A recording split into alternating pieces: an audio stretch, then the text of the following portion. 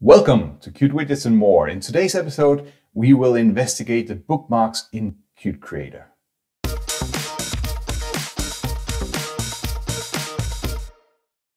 Oh, come on, Jesper. Bookmark isn't that difficult. Why do you want to waste our time on that?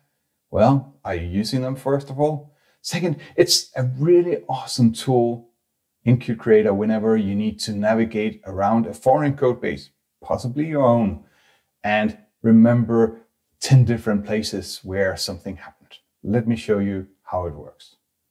Somewhere in my code, I have a place that I would like to remember. So here it's on my mouse button press. Control M to set the bookmark. You can see over here in the site, a bookmark has been set. If I want to throw it away again, Control M and it's gone. So here is one place. Here is another place, maybe over in a file here there is yet another place, and up here there's a place. And now I've definitely collected a number of places. Now I want to traverse through them. I do that using control comma. So control comma goes to the previous set one, control comma to the previous previous set one, and then I can traverse the other direction with control dot. So now going forward again and forward again. And it's cyclic, so when I get to the end, I, I jump around to the first one. In Qt 5. No, in Qt Creator 5.0, a new feature came in that if you are on a line with a bookmark, Control Shift M brings up this edit bookmark. And here I can say this is uh, my mouse press event. And what you'll notice now is that it's showing over here on the sidebar. You can figure that in the settings of exactly how you can, how, what is displayed what where but that is super useful because if I now have different places, and uh, here this one was of course my uh, uh, the class itself.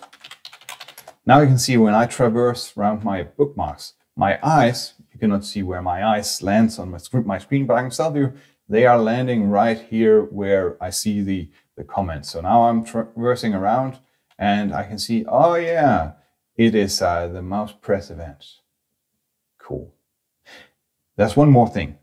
And if you remember down here at the bottom, we have one, two, three, four, five, and so on. And you can bring each of those up with alt one to see the issues, alt two to see the search result, and so on, and escape to make it go away.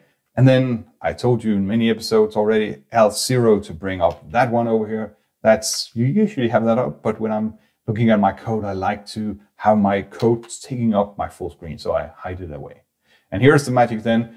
Alt, alt zero was for this one, then shift Alt 0 is for the other side over here. And you can actually see it in the tooltip. It says there, if I can bring up the tooltip again, Alt shift zero. So Alt shift zero will bring up this sidebar here.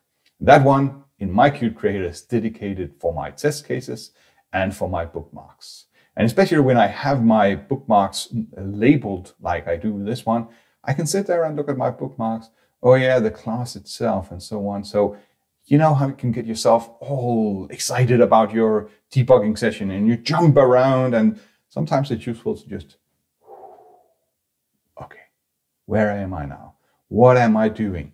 And looking at your bookmarks. Oh yeah, I, was, I found the place where it was handling my mouse press and I found the class itself. Yeah, and so on. And when you're done with it, it's also useful to say, okay, let's get rid of all of these control right or just right click and then remove all. And now you have a clean slate for the next session where you need to set bookmarks. That's it for this episode of Qt Widgets and more. Not groundbreaking new thing, but trust me, if you don't use bookmarks yet and you'll start using bookmarks, it is actually one of the hidden gems in your toolbox of navigating around your code. Very, very useful. Thank you for watching Qt Widgets and more and see you next time.